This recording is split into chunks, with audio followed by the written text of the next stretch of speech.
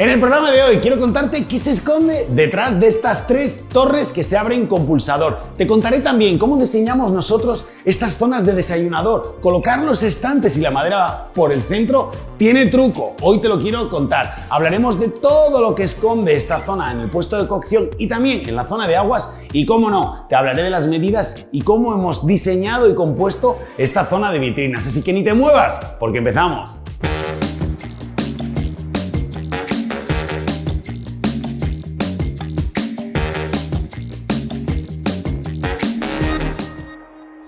Hola familia, yo soy Daniel Colino de Cocinas CJR y os doy la bienvenida a todos los cocinólogos y a todas las cocinólogas a un nuevo programa. Y si ya formas parte de esta familia y nos acompañas todas las semanas, solo tengo que decirte que muchísimas gracias. Pero por contra, si acabas de llegar hasta aquí buscando inspiración para diseñar tu próxima cocina, entonces tengo que decirte que enhorabuena, porque yo creo que estás en el lugar adecuado. Aquí puedes recibir muchísima inspiración y te animo también a que te pases por nuestra página web y por nuestras redes sociales, porque tienes fotos en alta calidad de todos nuestros proyectos. Pero tengo una buena noticia. Si con toda esa información no consigues hacer el diseño que te gusta, ese diseño que te enamora, nosotros, todo mi equipo y yo, podemos echarte una mano. Te he dejado en el primer comentario toda la información y si clicas justo aquí, en esta tarjeta, te lo explico perfectamente en un vídeo. Y hoy estamos en un proyecto, en una casa, en un pueblito precioso de montaña, de piedra en el exterior, con unas vistas increíbles que se ha restaurado, se ha rehabilitado por completo. Y la magia de este proyecto era hacer una cocina grande, porque vas a ver cuánto espacio tiene, pero que fuera moderna y que no perdiera el sentido que tenía toda la casa, que tenía esta reforma integral que se ha hecho. Por eso se, han elegido este tipo de acabados. Un gris, laca, un gris bisón, laca, seda, mate, con un tacto espectacular. Se han utilizado piezas en madera, que luego te las contaré más en detalle. Y se ha utilizado también una encimera de Silestone, el Eternal Glow, porque tiene una veta muy finita, muy finita. Y hemos elegido también un color mate.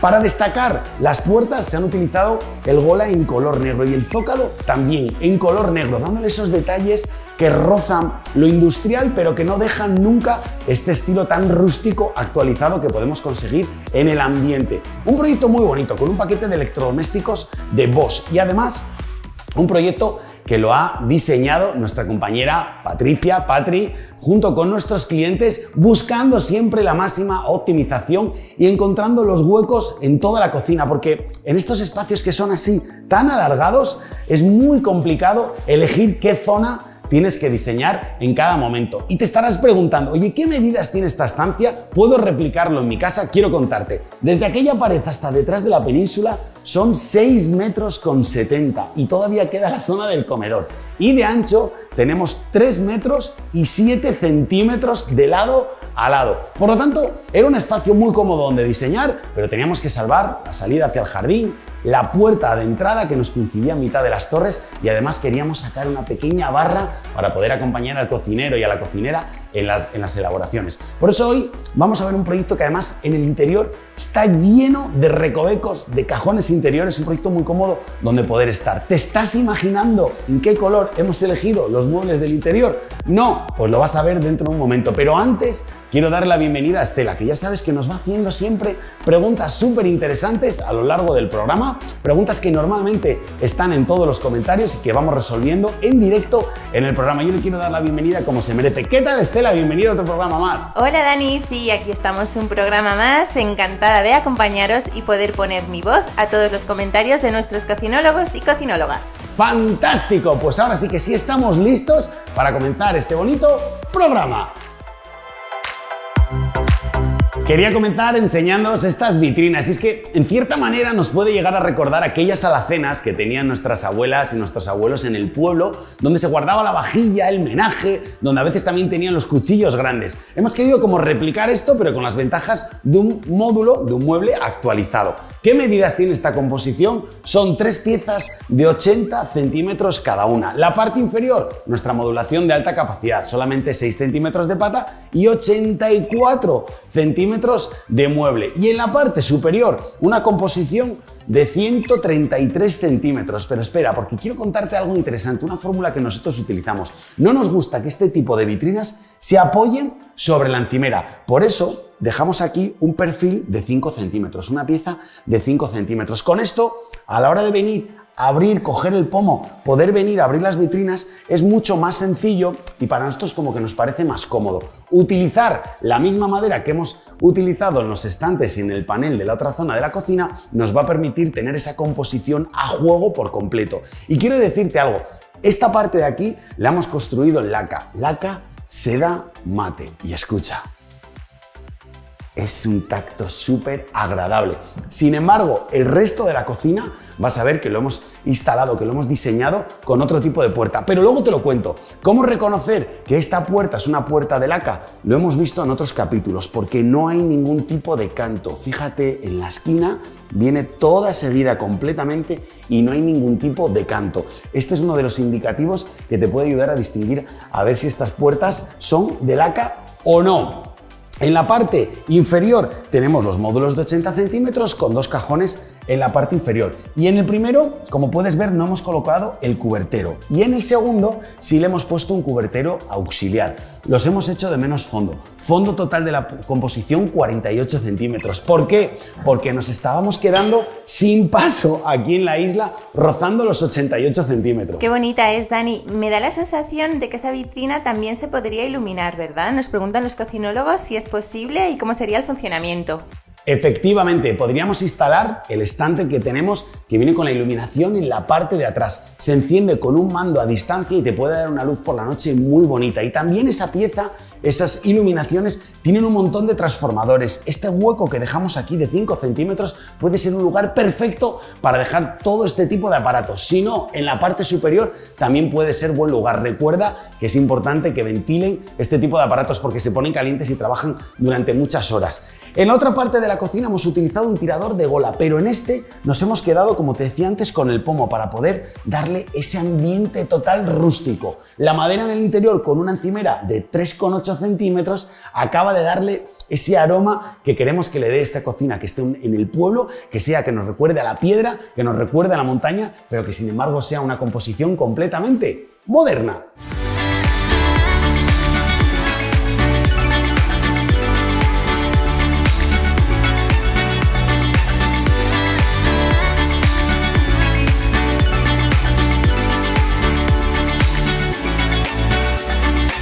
Todavía me ves aquí un poco en penumbra, ¿verdad? Y es que nuestros clientes están con la reincorporación, con la instalación final de la casa y faltan algunas lámparas y algo de iluminación.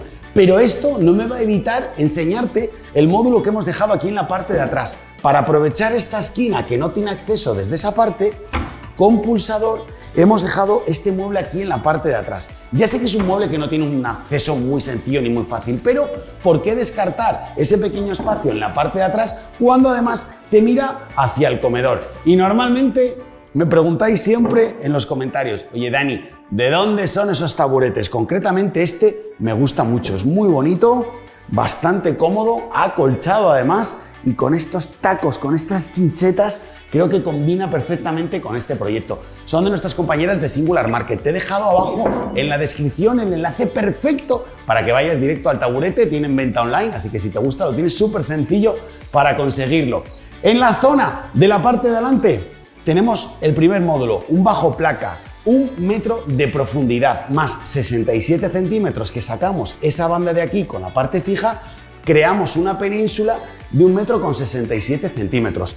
Una placa de Bosch que me gusta mucho porque trae un flexi completo rectangular muy grande, otro flexi completo rectangular muy grande y en el medio trae una zona que es una zona puente. Esta zona se puede unir a este fuego o a este fuego, con lo que consigues hacer una pieza realmente grande para poder colocar una tartera, una fuente o una payera con un diámetro superior a 30 centímetros. La campana también es de Bosch, en cristal blanco, intentando que se funda lo mejor posible con todo el techo. Y una vez que pasamos de aquí del puesto de cocción, claro, necesitábamos más espacio, así que colocamos una gaveta más de 120 centímetros.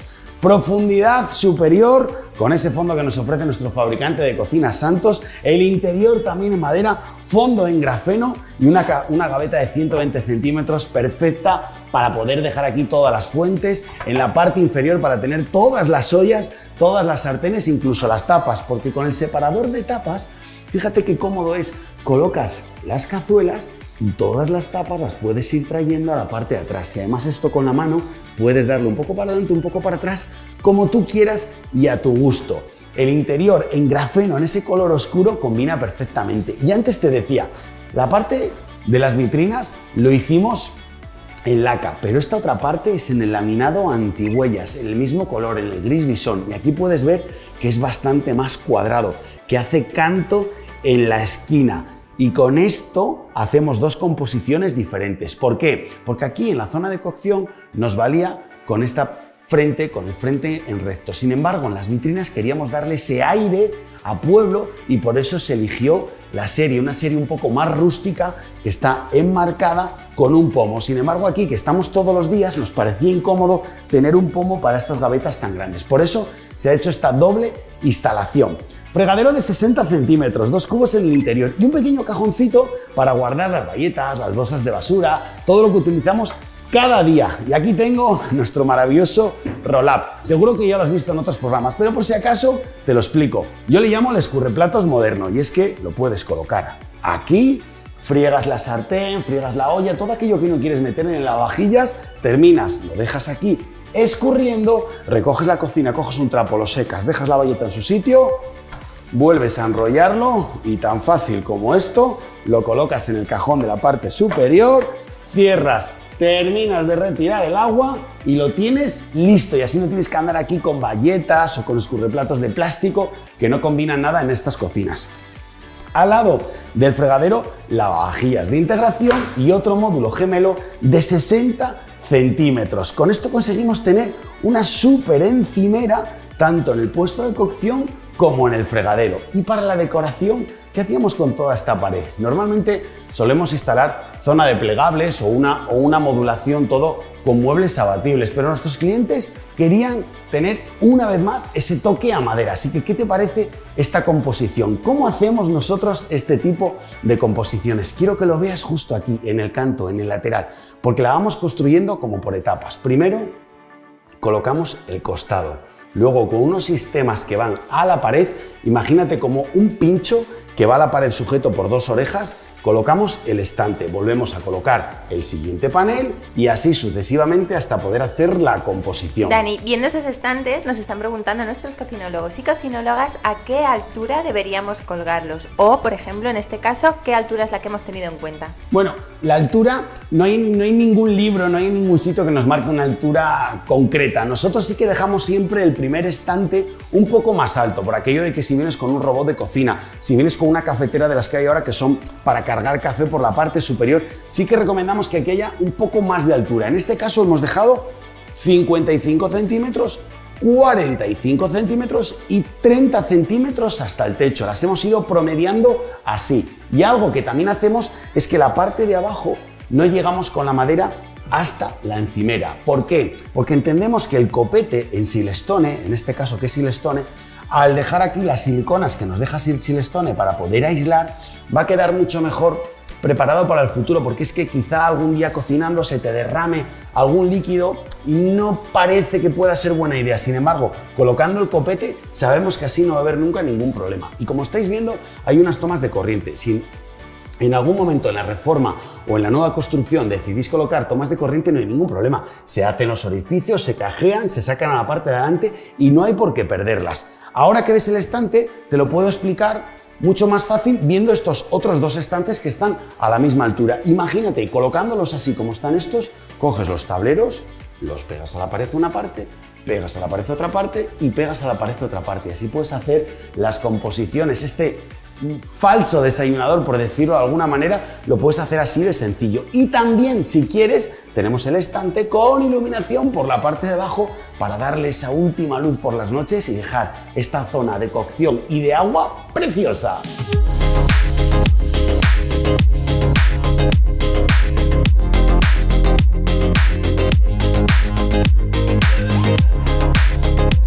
¿Cómo es esta zona de torres? ¿Qué tenemos en el interior? Pero antes de eso, ¿sabéis lo que nos pasa muchas veces cuando estamos diseñando la zona de torres? la gran pregunta es ¿para qué lado abren? Y es que hay algunas de las torres que está bastante claro, como por ejemplo esta primera.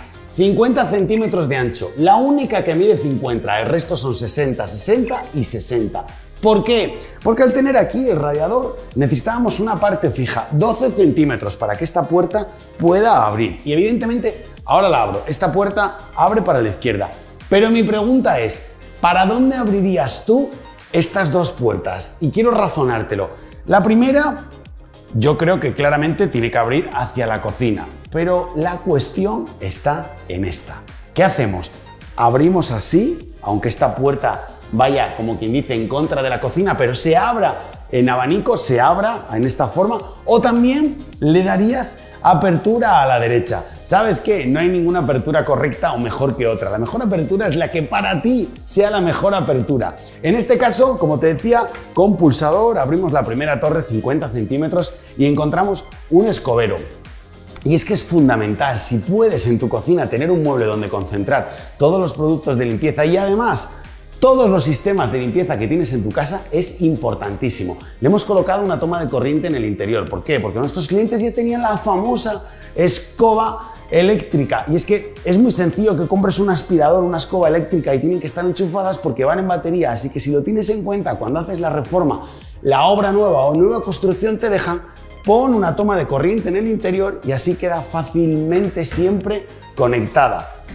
Siguiente torre, 60 centímetros, sí, abre hacia la izquierda. Oye, perfecto, nuestros cajones interiores tan cómodos para retirar cualquier artículo fácilmente y cerrar. Parte superior con estantes y el interior en grafeno, que con este gris bisón le queda excelente. Dani, estamos viendo que en esa columna de despensa hay tres cajones, pero ¿crees que le podríamos colocar más? Muy buena pregunta. Normalmente veremos en casi todos los programas uno, dos y tres cajones, pero existe la posibilidad de colocar el cuarto y el quinto. Si buscas entre todos nuestros programas, encontrarás muchísimos en los que ves también los cinco cajones. Muy buena pregunta.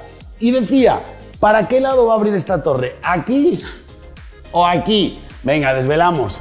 Viene para este lado.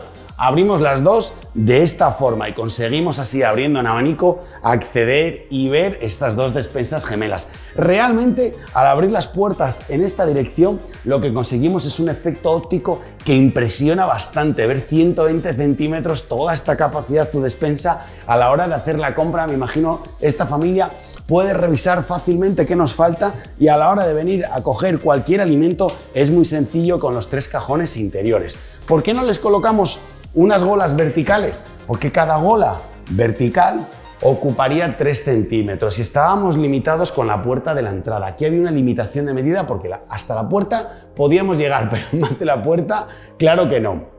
Zona de la torre, horno y microondas. La parte inferior también con pulsador. Vengo con algo, lo poso o lo recojo y vuelvo a cerrar. Y si quieres, en el interior todavía dispones de un pequeño cajón que te puede servir para darle servicio al horno con las bandejas, los, libros de cocina o como tienen nuestros clientes con algunos accesorios como puede ser la tabla de cortar.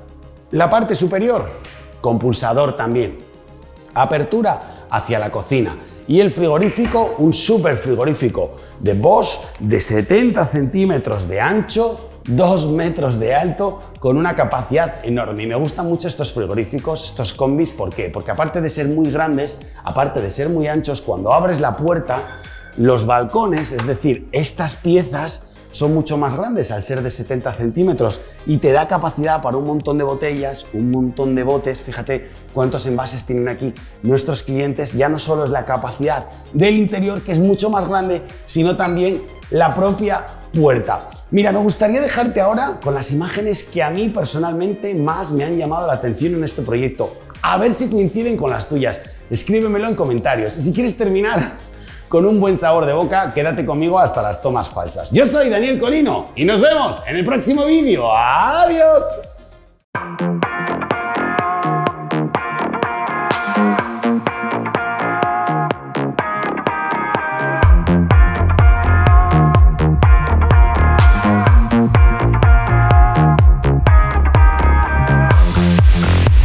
Visto el mando pensé que era al principio el de la tele. Ya luego cuando me fijo es el de la campana. Estos mandos, como lo dejes, te, te puedes liar. Hostia, Frank, ¿te imaginas el, eh, antiguamente esto? Chincheta, chincheta, tas, tas,